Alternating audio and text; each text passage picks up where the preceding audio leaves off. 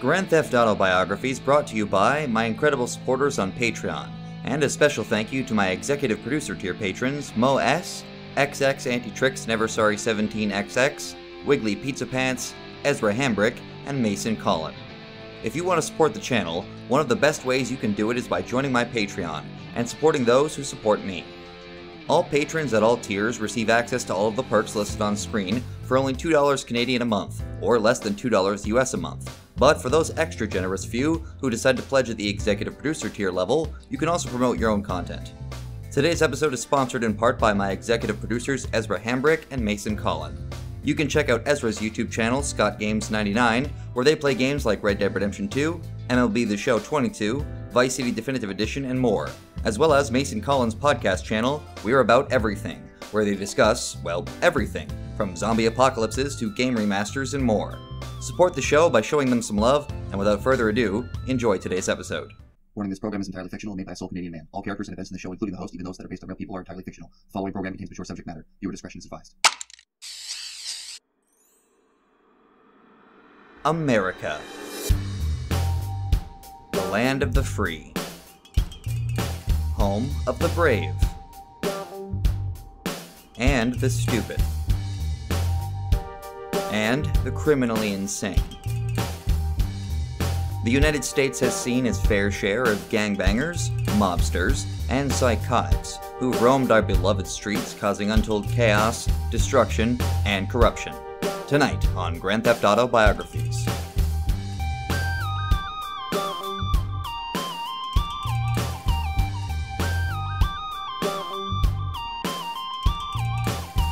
Regime building, drug dealing, and corruption at the highest levels.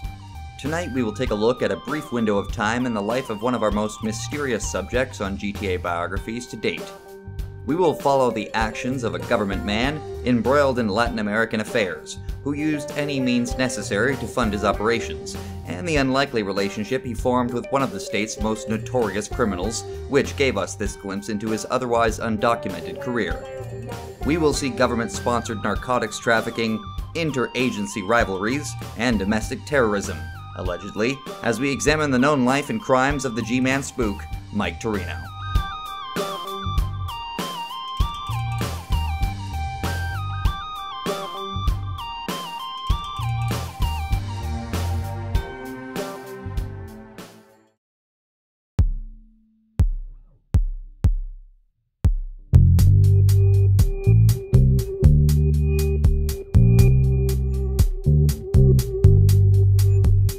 Regular viewer of GTA biographies will know that more often than not, we are forced to fill in the gaps with speculation when discussing the early lives of our subjects.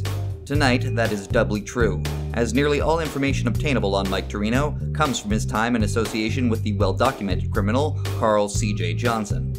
Taking what little info we do have, we can make some assumptions on how Toreno wound up where he was by the time he became acquainted with the Grove Street gangster.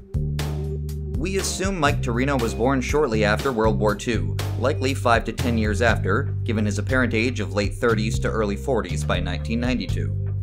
Absolutely nothing is known about his early life, where he was born, or who his parents were, but based on accent, we speculate he was raised somewhere in the southwestern United States, such as Utah or even San Andreas itself. Eventually, though it's entirely unclear at what age, Mike would start a career in the government, almost certainly at the CIA, based on his later modus operandi, his own words, and the fact that he neglected to mention the CIA when listing the agencies watching him to Carl Johnson.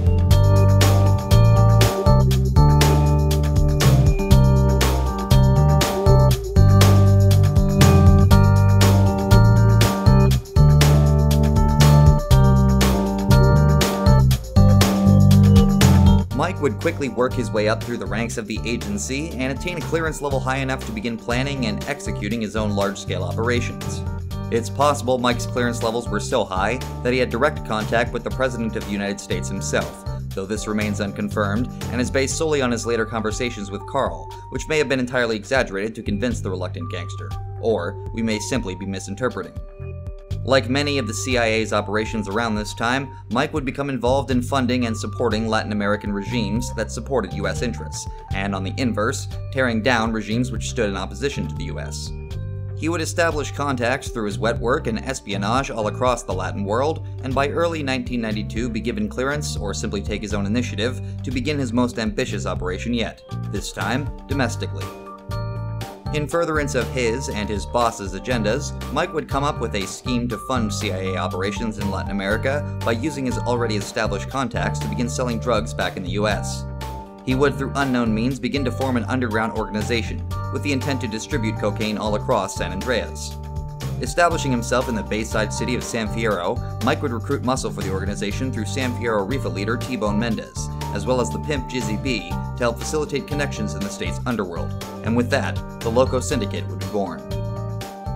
It isn't known exactly when the syndicate formed or under what circumstances, and it's possible it had already been in operation on a smaller scale prior to the 1990s. But whatever the case, by 92 Toreno would be prepared to step up production to make even more funds available for his Latin American affairs. And to that aim, he would find a new buyer prepared to take as much as 100 keys a month off of their hands, should things go as planned.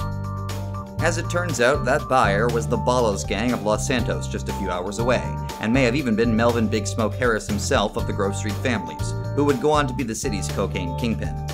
It isn't clear if Harris and Toreno were in direct contact or not, though, and given that this deal was apparently established before Smoke's public betrayal of the GSF, we can't be entirely certain it was him at all.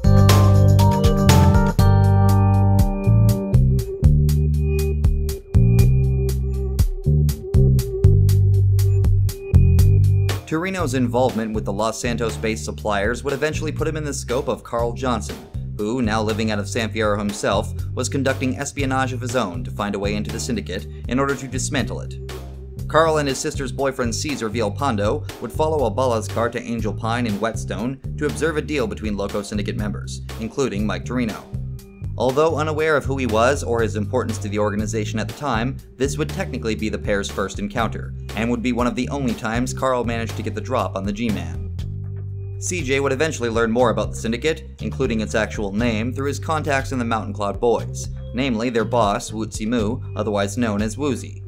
Woozie and his lieutenant Guppy would put CJ on the trail of Jizzy B, and with minimal convincing, Carl would manage to get himself hired by the pimp as Dumb Muscle to assist T-Bone and Mike with whatever they needed doing. Carl's true introduction to Mike would come under rather unfortunate circumstances for Toreno when a routine drug shipment is stolen by the Vietnamese gangsters, the Da Nang Boys, with Mike still inside the van. Mike, Mike, I've been trying to contact you. What? Oh man, where are you?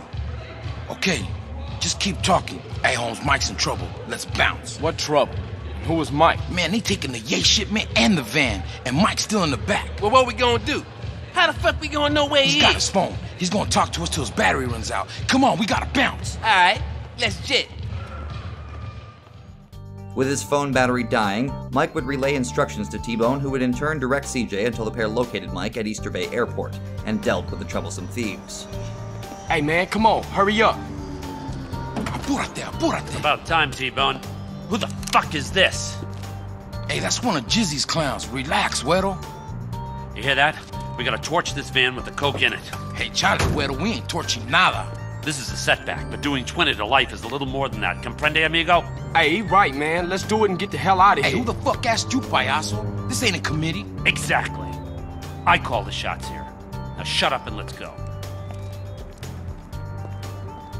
Though Mike had been rescued, he would immediately be hyper cautious about CJ's presence, already suspecting that the organization was being watched, and using his authority as head of the syndicate to try and confirm Carl's identity and cover story. How long you been working for Jizzy? I haven't seen you before. Just got into town last week. I done a couple jobs here and there. Just got into town, huh? Where were you before that? Hey, what is this? Man, just answer the fucking question. Look, man, chill. I've been to Los Santos with my family, all right? Give me his wallet. What? Hey, get off! Quit struggling and concentrate on the road.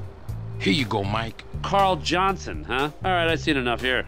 Hey, it was a dub in there. Better still be there when I check it. Shut the fuck up. Okay, Carl Johnson. You did good today. Man, now shake the spot. We got shit to talk about. Both Toreno and T-Bone would continue to test CJ and ensure he was not working for a rival organization or government agency, but without actually needing to lie, Carl would insist he wasn't working for anyone except himself.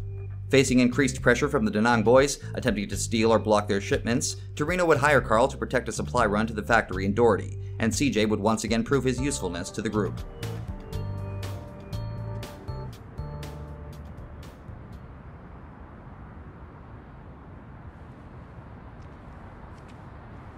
Man, where the hell everybody anyway?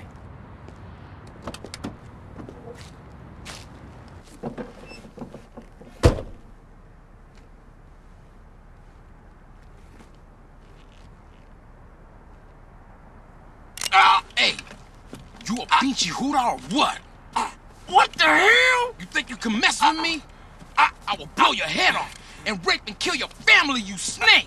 Uh, you think you can fucking bullshit me and fuck me over? I know your fucking game, it. I don't know what you're talking about, man. Ah, my throat! Who you working for? Nobody! Turn around and look at me. Man, I'm just trying to make some money. Keep my mouth shut, I swear, man. I almost had you, man. I almost fucking had you. Watch out. You gotta be careful in this business, man. You know that. Are you boys done playing around? Yeah, we're straight, Bato. Oh, good. That's great. Now we gotta go meet this shipment. We're late as it is. Let's go. You heard what Hefe said. Get out and grab a bike. The shipment has to get to the factory. You make sure it does, we make it worth your while. We're watching you, kid. Simon, that's it. We're watching. But even with all of Mike's inside knowledge, he would apparently not be suspicious enough of Carl to find his connections to Big Smoke back in Los Santos, and thus his motivation. Carl would go on to confront and murder Jizzy B without notifying the rest of the syndicate, and steal his phone to learn of an upcoming meeting, this time taking place at Pier 69. Presumably still unaware of Jizzy's death and therefore CJ's betrayal, Mike would head to the meeting via helicopter, but almost immediately noticed the rooftops littered with bodies, as Carl and Caesar had already made their move, and crashed the party. Chopper inbound! That's gotta be Toreno!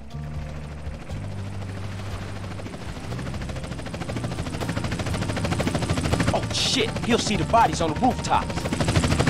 It's too late, man. He's tripping out, Holmes. Smoke grenades? So much for a surprise. Come on, we gotta take these fools right now. Finally aware of CJ's true allegiances, and more importantly his skills as a gunman and a spy, Toreno would retire to presumably his ranch in Tierra Robada, serving as either a local CIA safehouse or possibly Mike's personal home. Knowing that Carl had already killed all the remaining members of the Syndicate's leadership besides himself, Toreno's next move would be to protect Carl's. He would orchestrate a staged scenario using what we assumed to be a body double and convince CJ's source of info, Woozie, that Mike and his men were cutting up a helicopter at a helipad downtown, giving CJ a perfect opportunity to strike.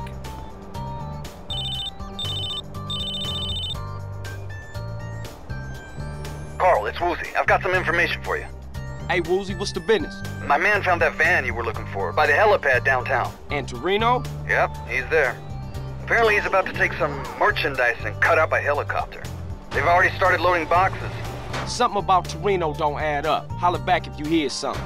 Just as Mike predicted, Carl would ambush the helicopter as it was preparing to leave and chase it all the way across the San Fierro freeway, eventually destroying it and, in his mind, killing Toreno once and for all.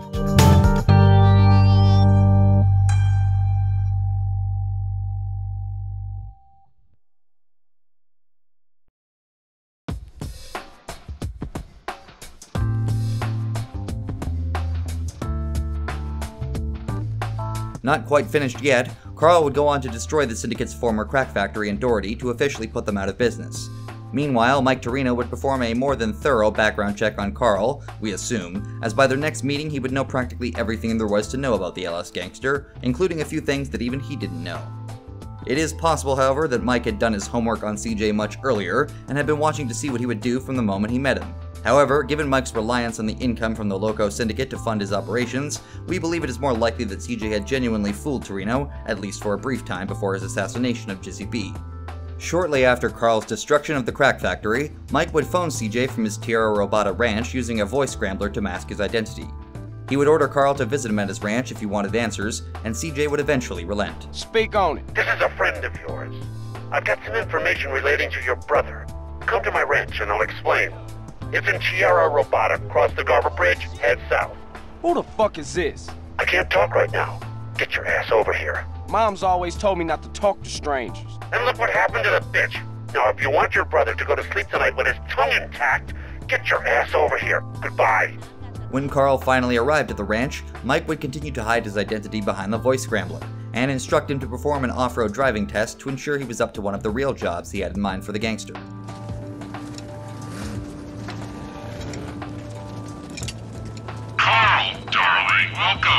So fucking welcome, man.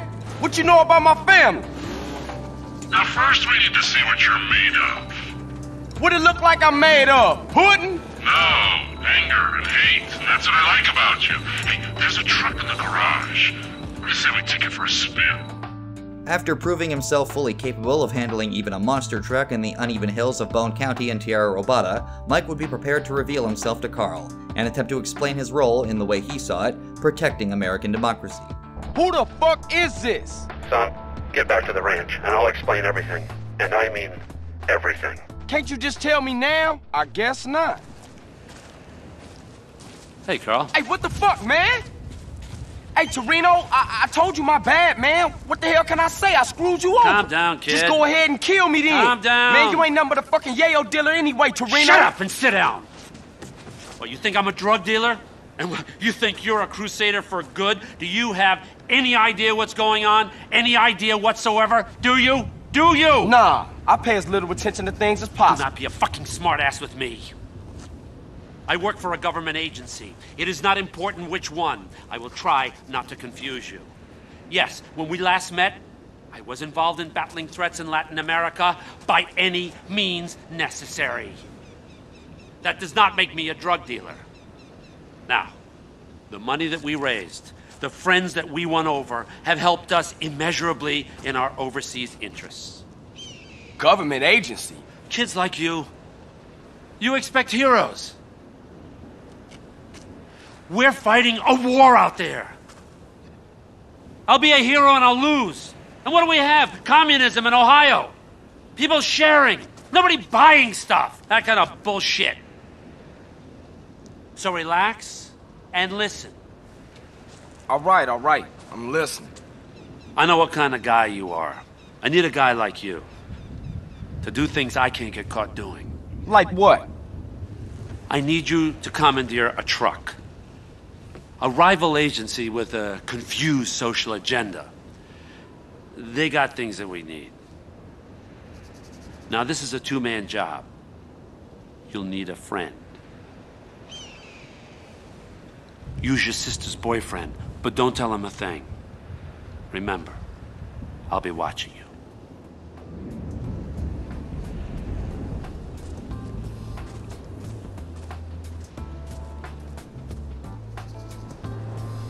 Carl and Caesar would manage to stop and procure the speeding tanker truck along the San Fierro Highway and deliver it to CJ's Doherty garage for temporary storage.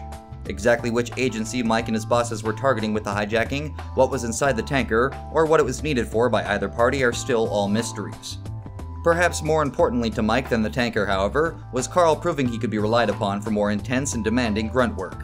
He would dangle his brother's freedom just out of reach in order to continue convincing CJ that cooperation was in his and his brother's best interest. Roger that, big monkey. I got a 13-6 fat vulture. Need to acquire a drowning baby. Over. What? In 15 by the fat moon. Break your heart. Over and out. Carl, I need you to do me a favor. Yeah, I'll do you a proper injury, man. What you knowing about my brother? Relax. He's in prison upstate. D-Wing, cell 13. To the left, I got a child killer who wants to rip his throat out. To the right of him, I got a white supremacist who wants to eat his heart, to be precise. Now, don't worry. Tenpenny and Pulaski are really relatively benign, unless, of course, you're a family member of Officer Pendlebury, whom they shot when he threatened to expose them. But you do know all about that, right? Dang! Hey, man, how you know all this stuff, man? And won't you stop it? You just don't understand, do you, kid? Look, it's all white knights and heroes. We have to make decisions, kid. You know, I try to set bad people on other bad people, and sometimes I let good guys die. He's your brother, but to me, he's just collateral. It's a very delicate decision. Over here, you got all the scumbags inside the country. And over here, you got all the scumbags outside the country. And me and my colleagues, we're the fucking pivot. Keep the government in work. Which reminds me, come here, okay? I need you to head over here in the buggy outside. Okay? Okay, let off a flare. We got some precious cargo needs collecting. Hey, hold up. What about my brother and all that shit you was talking Hey, about? hey, hey, don't worry. Sweet's just fine. He gets touched. A prison guard goes home and finds that his wife and kid have been murdered. Everything's under control. We'll talk later. Now, come on, get out of here.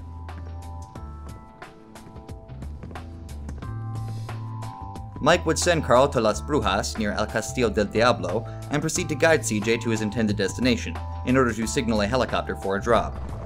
Jesus, what took you? Toreno, where you at? Miles away. No time for niceties, kid. Choose a vehicle, grab the equipment I provided, get to that drop zone, and wait for that package. Unfortunately for CJ, but likely unsurprisingly to Toreno, the helicopter would be ambushed by presumably the same rival government agency whom Carl had robbed with Caesar, and CJ would be forced to defend the cargo from incoming fire.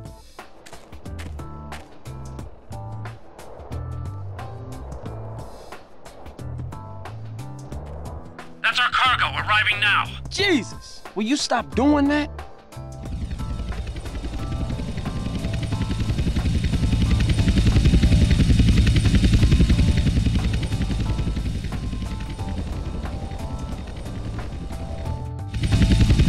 Hold up! Shit, pilot says he's got trouble. Two agency choppers coming in on an intercept. Can you see them? Yeah.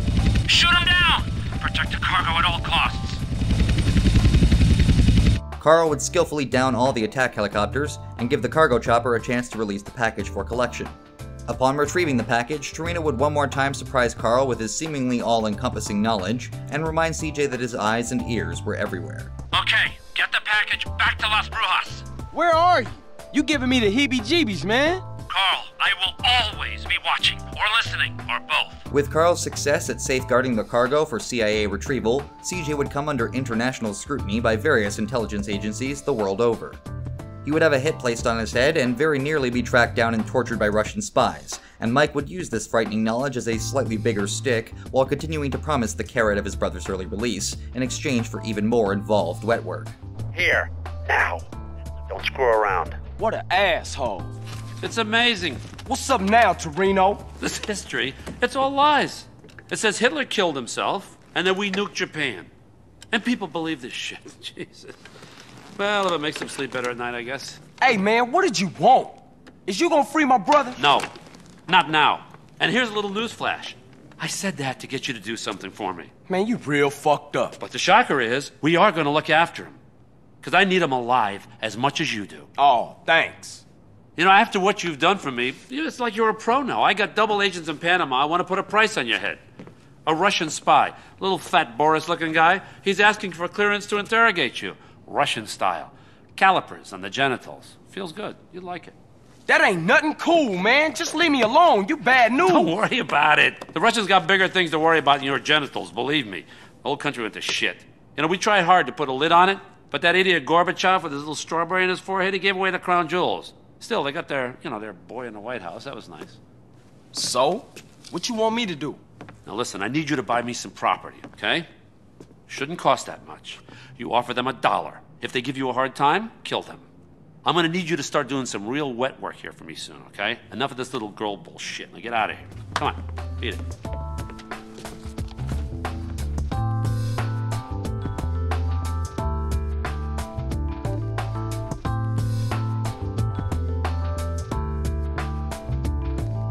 Ready to really put Carl to work for the agency, Mike would have him purchase, with his own money of course, an airstrip in Bone County for Toreno's planned domestic operations. Needing a flight ready soldier who could operate under the radar, quite literally, Mike would instruct Carl to use the training tapes at the airstrip to learn how to fly, and with little other choice, Carl would do just that. Well, Carl, so what do you think of our new base of operations? It's missing something. Maybe a tennis court and a pool would help motivate me better.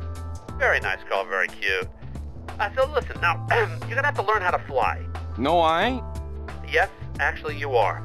I set out a series of tests for you. You can access them on that TV. You're gonna have to prove to me that you can fly if you're gonna continue working towards your brother's freedom.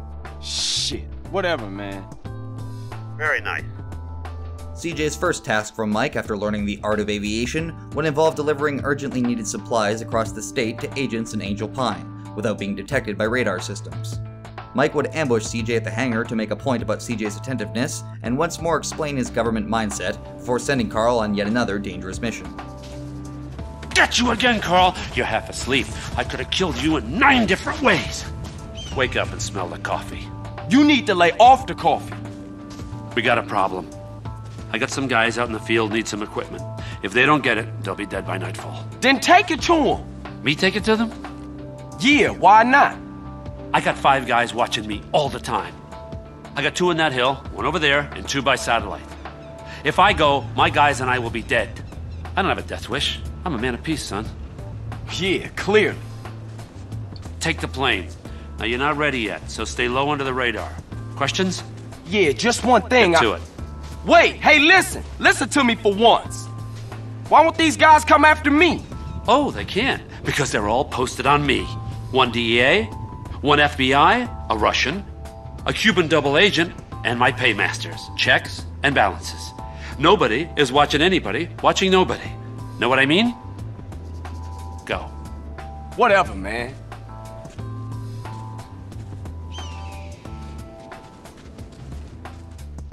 Using a Rustler one seater airplane, small enough to go mostly unnoticed, CJ would fly all the way from Bone County to Whetstone to deliver the supplies to the agents, dodging telephone poles, weather, and even trees which seemed to come into view just moments before it was necessary to countermaneuver.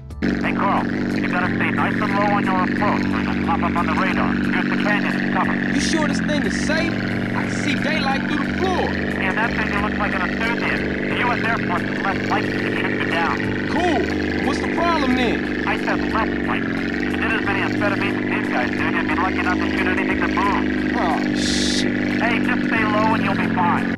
As usual, though, CJ would pull it off, continuing to impress Toreno and presumably his bosses, depending on how aware they were of his uses thus far.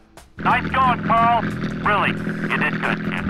But Carl's skills would truly be put to the test when another rival agency, possibly the same one Carl had already been fighting on the CIA's behalf, would use CJ's airstrip for a stop off in order to load a shipment of landmines they planned to offload in the Middle East.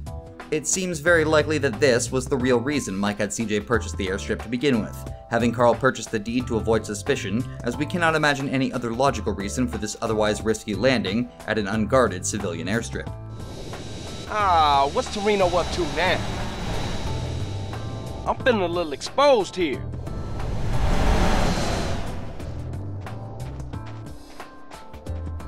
Being the nearly unstoppable and cunning gangster that he was, Carl would manage to get aboard the fleeing cargo plane before it could take off, and proceeded to eliminate all personnel in the cargo bay before planting explosives inside and bailing out the back. Carl had proven he was not only a useful asset, but possibly one of the most reliable and deadly contractors the CIA had on tap, all without a pension.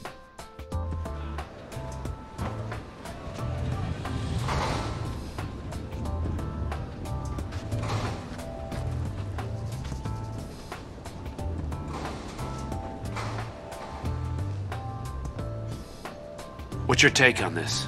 Damn! I thought them was your people. Listen, Carl, we've got a problem. Some traitors from another department think they can help the overseas situation by financing militaristic dictators in exchange for arms contracts. Hey, ain't that exactly what you do? Well, kind of, but we get to pick our dictators. Degenerates that we can control. We try to stay the hell away from these guys with principles, because that just muddies the waters. Yeah, okay. Okay, so, of course, these idiots have stolen a consignment of landmines and they plan to offload them in the Middle East and cause a little ruckus and goes crazy and have a lot of problems. I mean, Carl, do you like maiming people? Curious. Maiming? Some people, shit. Anyway, the point is, you and me, Carl, hey, we're the same.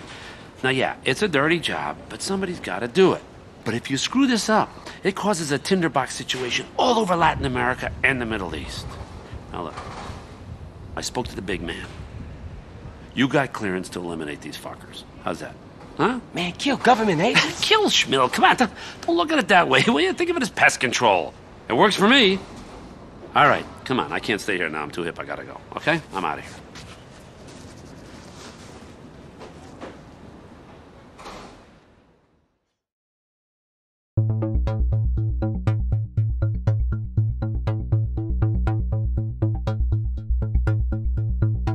Following Carl's unlikely but nonetheless successful mission in taking down the rival agency, Mike would vanish from CJ's life for a time, and return to doing whatever it is secret government agents do. Based on his previous actions, it seems more than likely that Toreno would go about re establishing a means of funding his operations, with the Loco Syndicate dismantled thanks to his new Grove Army knife and CJ. Whatever he did get up to, he would continue to operate domestically in his crusade against the forces of evil or something.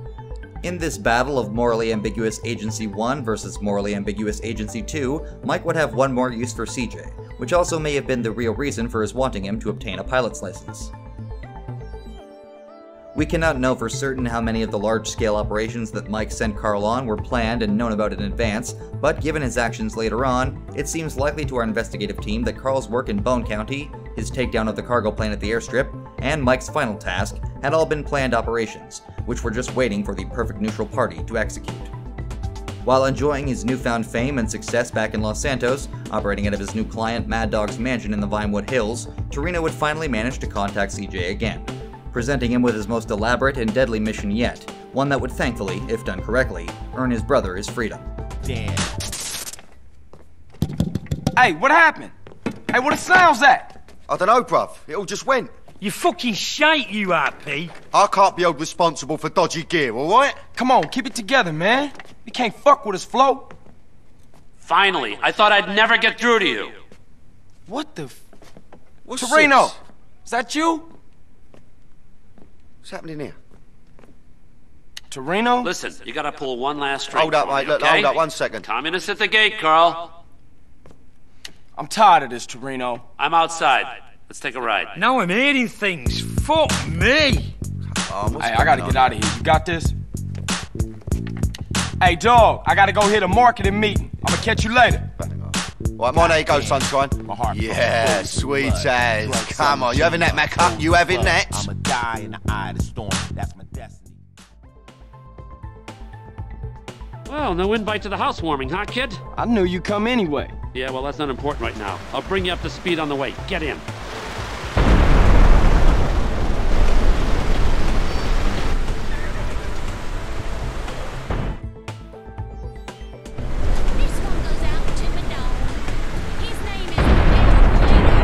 This gonna take? I got my own shit to worry about. Would you like to see your brother this week? Yeah, what can I do? You just gotta steal a military jet off an amphibious assault ship and use it to destroy a flotilla of spy ships. Nothing big. Oh man, you shit. When I shit you, Carl, there's a boat. All the gear you'll need is on board. I'll keep you briefed as you go. I ain't coming back from this one, am I? Yes, you are. Don't be ridiculous. Here, take this earpiece. Trust me, do as I say. You'll be home for a blowjob and a bologna sandwich. Carl would follow Toreno's instructions to the letter, sneaking aboard the ship stealthily and proceeding to push his way to the hangar to acquire one of the military Hydra jets, needed to finish the operation. You see, you see, what did I tell you? It was a snap. Stolen aircraft, prepare to be vaporized.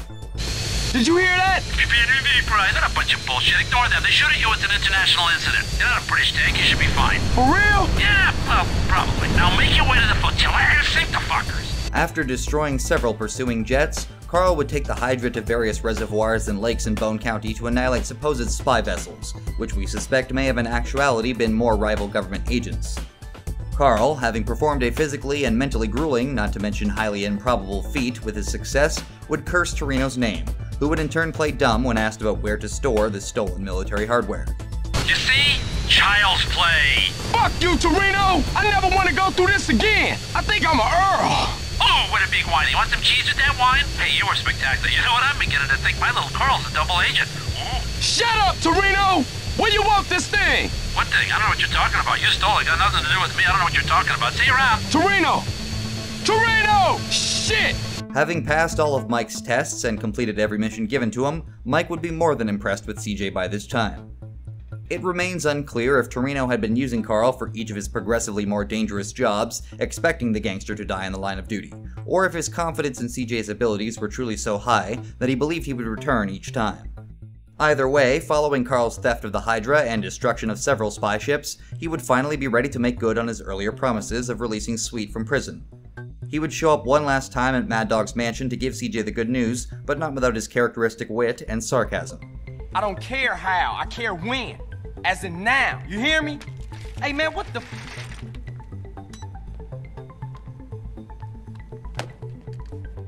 Hello, boss man. Taking care of business, I see. Toreno, fuck you. Almost lost my life out there for you. I got just one tiny little thing for you to do, and then I'm out of your life forever. You know what? I'm tired of your fucking little jobs. Ah, will you stop? This is pathetic. Come on, you're embarrassing yourself. Come on, put it down. Don't be ridiculous, okay? Hey, I got a little surprise for you here. You ready for this? Huh? Answer it.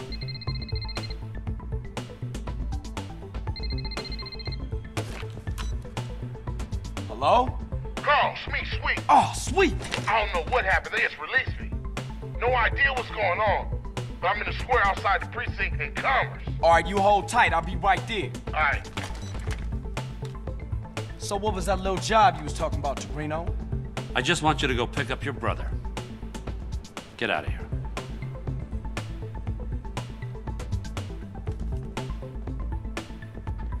What became of Mike Toreno following this is anybody's guess. Given his cautious nature and otherwise indecipherable record, it seems entirely possible, if not likely, that Mike simply continued his foreign intervention and general government espionage for many years after 1992. But we cannot know for certain, as his name never again appears in any official statements or records from the CIA. While it isn't entirely out of the realm of possibility that he continues to operate to this day, given his clearly cushy CIA salary, it seems far more likely that he has retired by now, and perhaps lives out his final days in the comfort and luxury of his Tierra Robada ranch. However, it also seems equally likely that as a man so clearly convinced of his own necessity to the status quo, he would still be operating to this day. So the next time you visit San Andreas, be sure to keep your data off and your mirrors checked. You never know who's watching, or listening, or both.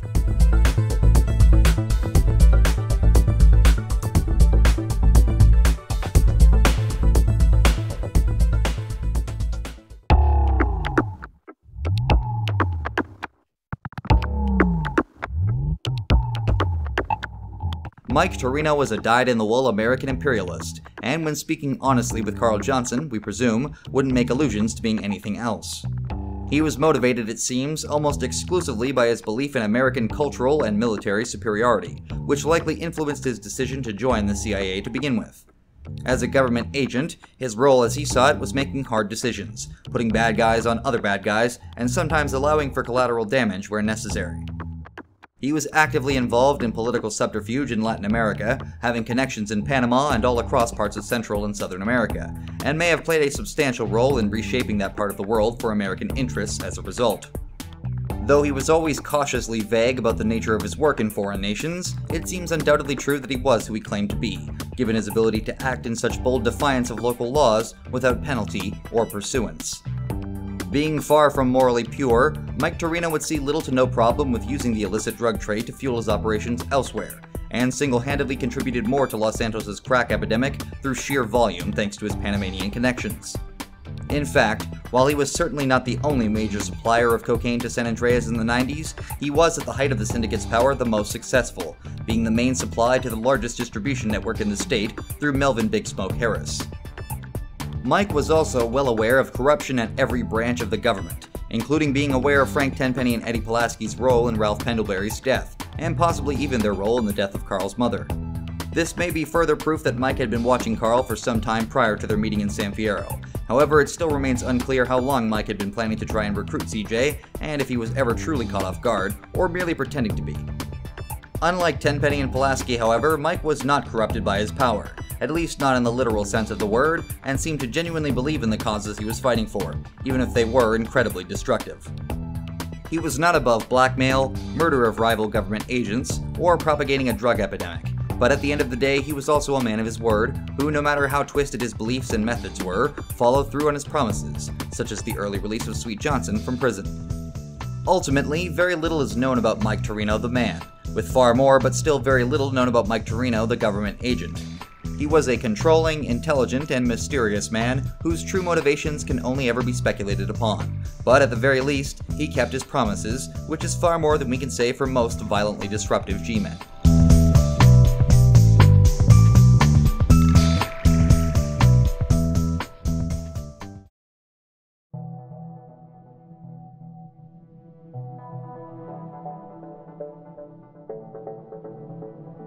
As we almost always say before this part of the show, the numbers we have obtained through rigorous research on Mike Toreno must be taken with a grain of salt, as most of our knowledge comes from that brief period in 92 when he was associated with Carl Johnson.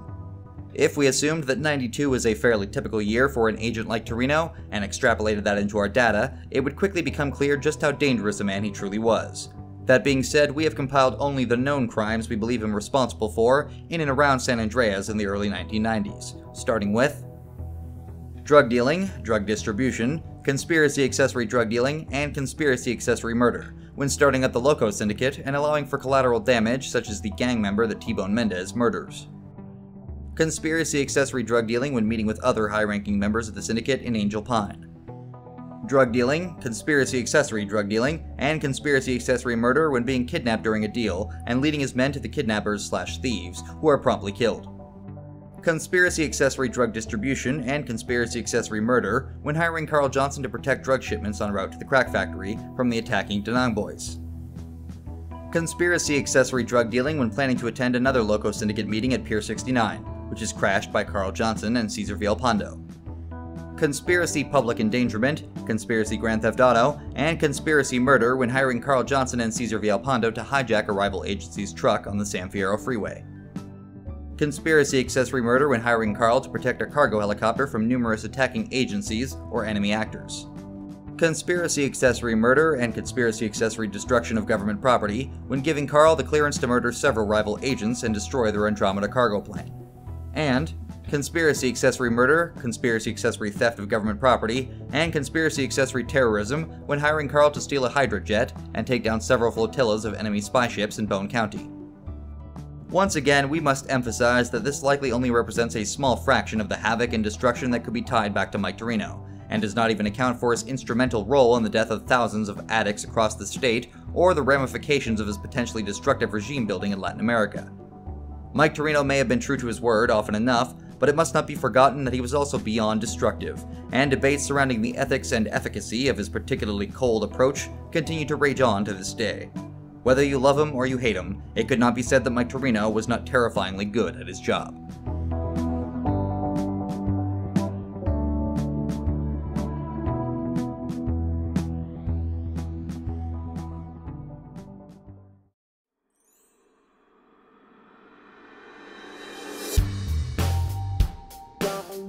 Why did the government resort to using the crack epidemic as a means of funding their foreign operations? Was it simply a lesser of two evils case where if somebody was going to do it, it might as well be them? Or have they simply been deceiving us all for their own profit our entire lives?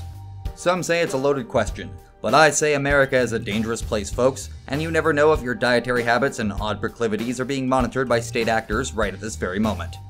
Stay indoors, people, and tape over all of your webcams. You never know who might be watching you whittle away in abject isolation, just waiting for the right moment to wash your brain. I'll see you next time on another exciting edition of Grand Theft Auto Biographies with me, your host, Guiness Walker. Thank you for watching.